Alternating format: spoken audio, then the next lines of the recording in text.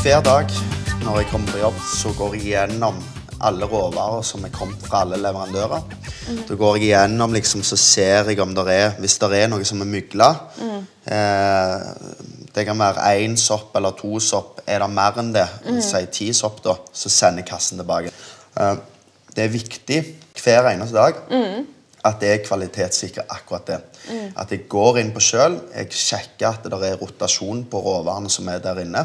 At det eldste blir brukt først. Men når du gjør de her testene og du ser på kvaliteten, hva er det du ser etter? Det varierer litt ut ifra om det er grønnsak, frukt, fisk, kjøtt, diverse. Ja. Sånn som med kjøtt, da, hvis du skal ha en god entrecôte, så liker jeg å ta på den, se om den er fast.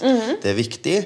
Fisk er veldig enkelt. Der går jeg alltid inn på gjellene og ser om de er lyse, fine, flotte, røde gjeller på de. Eh, og at det er slim på, ut på fisken. Det er et veldig godt tegn på at den er fersk. Grønnsaker så kjenner jeg om de er faste. Hvis du eh, kan bøye en uh, gulrot Hvis den knekker med en gang, Ja. så er det et veldig bra eh, okay. tegn. Vi, eh, vi gjør jo litt av det samme med kaffe òg. kaffe er jo en, et bær, så det er jo mange ting man skal se etter. Og noe av det som kanskje er det viktigste, det er jo at det er modent nok. Um, for et kaffebær vil Det er jo først en blomst, og så blir det et veldig grønt bær til at det blir gult, og til slutt en eh, dyp rød farge. Det må utvikle eh, sødme og syrlighet og alle de smakene. Og hvis du plukker det for tidlig, eh, og bruker bær som ikke er moden, så vil du heller ikke få god smak til slutt. Og de her beste modne kaffebærene de finner vi gjerne i noe vi kaller for kaffebeltet. Eh, og Det er en beskrivelse på det området som ligger veldig tett rundt ekvator.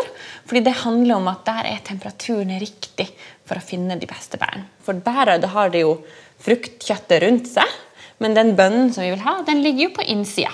Det Er et frø? eller? Ja, det er som et frø. Litt som en, om du kan, vil en avokado eller en drue. Stemmer. Så to grønne sånne frø ligger ansikt mot ansikt inne i kaffebæret. Og en ting er at det er modent og fint, men vi må også sjekke bønnen som ligger på innsida. Og da er det mange ting vi gjør for å sjekke om det er bra. Ja. Så det er for det første om det er stort. Et stort stor bønn er veldig bra. Um, det er om den er tung, så at den er, altså det er fin fylde i den. Um, vi ser bl.a. på fargen. Så vi måler at den har de riktige fargenyansene. Så gjerne en med arabica, altså den grønnblå farge vi gjerne vil ha. Og det er ikke mange um, kaffebønner som møter de kriteriene som vi ønsker oss. Det er veldig nøye utvalgelsesprosess for vi skal sikre for at vi får det samme bra resultatet hver eneste gang. Så det vil si at Nespresso er bare kvalitetskaffe? Bare på høy plan. Riktig. Veldig bra. Og det er viktig for at det skal bli riktig hver gang. Vi ønsker jo ikke at en kopp skal være god, og den neste ikke smaker like godt. Hver eneste gang du brygger en kaffe, så skal den smake like bra og gi den samme gode opplevelsen.